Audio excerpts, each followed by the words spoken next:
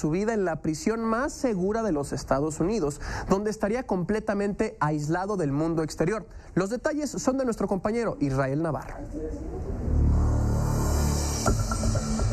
Tras 10 semanas del juicio del siglo contra Joaquín El Chapo Guzmán, el jurado determinó que es culpable por lo que la sentencia que dicta el juez podría ser de cadena perpetua y se sumará a los siete capos mexicanos condenados a una sentencia de por vida en prisiones de Estados Unidos, como Alfredo Beltrán Leiva, líder del cártel que lleva su apellido, Juan García Ábrego, fundador del cártel del Golfo, José Alberto Márquez Esqueda, integrante del cártel de Tijuana, Leandro Salas, de los Zetas, Juan Roberto Rincón, integrante del cártel del Golfo, así como Juan Francisco Estrada González y Jorge Rojas, líderes de la banda de los Palillos. El Chapo podría entonces pasar el resto de su vida en una prisión federal de máxima seguridad como la Supermax de Colorado.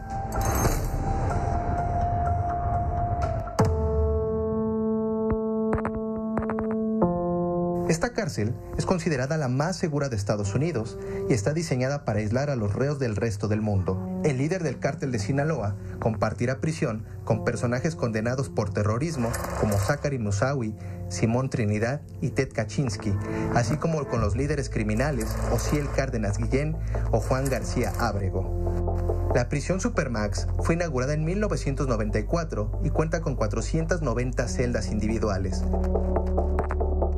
Los presos pasan 23 horas diarias dentro de sus celdas, las cuales tienen una dimensión de 2.1 por 3.6 metros. Están construidas casi en su totalidad de hormigón, incluyendo la cama. Las celdas están hechas para que los presos no puedan tener ningún contacto. Los alimentos son entregados a través de pequeños agujeros en las puertas.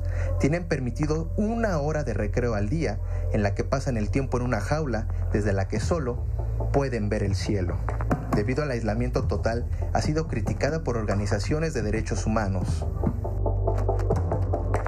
Los reclusos, que por algunas circunstancias salen de la celda, lo hacen en compañía de varios guardias, con grilletes, esposas y cadenas sujetas al abdomen para impedir algún tipo de movimiento. Por su extrema seguridad y la arquitectura empleada en su construcción, ningún prisionero ha logrado escapar o realizar un intento de fuga. Cuenta con 1.400 compuertas de acero controladas remotamente, alambre de púas en la parte exterior, rayos láser, cámaras, perros guardianes, una docena de torres que se elevan por varios metros de altura con francotiradores y un sistema especial de seguridad al exterior de la cárcel. Por si estas medidas no fueran suficientes para los presos más peligrosos, el módulo H de la prisión es una unidad de seguridad especial hecha para limitar estrictamente todas las comunicaciones con el exterior está conformada por 148 celdas.